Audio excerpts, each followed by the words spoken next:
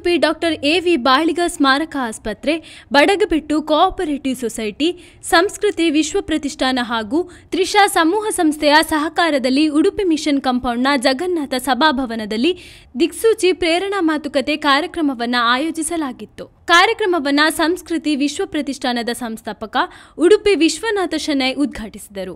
ಮುಂಬಯಿಯ green ಸೋಲ್ ಸಂಸ್ಥೆಯ ಸ್ಥಾಪಕ ರಮೇಶ್ ಧಾಮಿ, ಉಡುಪಿ ಜಿಲ್ಲಾ ಸಹಕಾರಿ ಯೂನಿಯನ್ ಅಧ್ಯಕ್ಷ ಇಂದ್ರಳ್ಳಿ ಜಯಕರ್ ಶೆಟ್ಟಿ, ಜನತಾ ಗ್ರೂಪ್ನ ಪ್ರಶಾಂತ್ ಕುಂದರ್, ತ್ರಿಷಾ ಸಮೂಹ ಸಂಸ್ಥೆಯ ಮುಖ್ಯಸ್ಥ ಗೋಪಾಲಕೃಷ್ಣ ಭಟ್ ಉಪಸ್ಥಿತರಿದ್ದರು.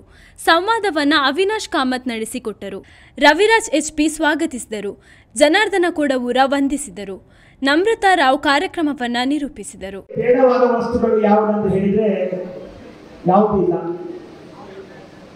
ಇವತ್ತು ಇಂಥ ಒಂದು ಕಾರ್ಯಕ್ರಮ ನಡಿಬೇಕೆನ್ನುವಂಥ ವಿಚಾರದಲ್ಲಿ ಆತ್ಮೀಯರಾದ ರವಿರಾಜ್ ಇವತ್ತು ನಮ್ಮ ಗಮನಕ್ಕೆ ತಂದರು ಯಾಕಂದ್ರೆ ನಾವು ಏನೋ ಎಲ್ಲೆಲ್ಲೋ ಯಾವುದರ ಬಗ್ಗೆ ಮಾತನಾಡ್ತೇವೆ. ಇದು ಒಂದು ವಿಶಿಷ್ಟವಾದ ಕಾರ್ಯಕ್ರಮ. ಅದಕ್ಕಿಂತಲೂ ಒಂದು ರೀತಿಯಲ್ಲಿ ಪ್ರಾಕೃತಿಕ ಸಂಪತ್ತನ್ನು ಉಳಿಸುವಂತ ಕಾರ್ಯಕ್ರಮ.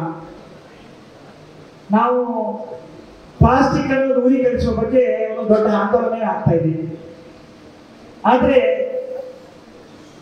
ಬೇಡವಾದ ಉಪಯೋಗಕ್ಕೆ ಬಾರದ ಸಾವಿರಾರು ಚಪ್ಪಲ್ಗಳು, ಯಾಕಂದ್ರೆ ಕೇವಲ ಒಂದು ಹದಿನೈದು ದಿನಗಳ ಅವಧಿಯಲ್ಲಿ ಹದಿನೈದು ಸಾವಿರಕ್ಕೂ ಮೇಲ್ಪಟ್ಟು ಚಪ್ಪಲನ್ನು ಇವತ್ತು ತಂದು ಕೊಟ್ಟಿದ್ದರಿಂದ ಅದೊಂದು ವಿಶೇಷ.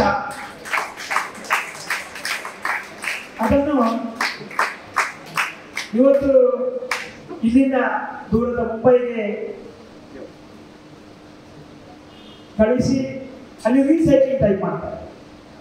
ಅವರು ಮಾತು ಹೇಳಿದ್ರು, ಬೇಡದ ವಸ್ತುವನ್ನು ಯಾವತ್ತು ಬೇಡವಾದ ವಸ್ತು ಅಂತ ಈ ಪ್ರಕೃತಿ ಯಾವುದಿಲ್ಲ ಎಲ್ಲ ವಸ್ತುಗಳನ್ನು ಉಪಯೋಗ ಮಾಡುವುದು ಯಾವ ರೀತಿ ಅನ್ನೋದ್ರ ಬಗ್ಗೆ ನಮ್ಮಲ್ಲಿ ಮಾಹಿತಿಯ ಕೊರತೆ ಇರ್ಬೋದು, ತಿಳುವಳಿಕೆ ಕೊರತೆ ಇರ್ಬೋದು.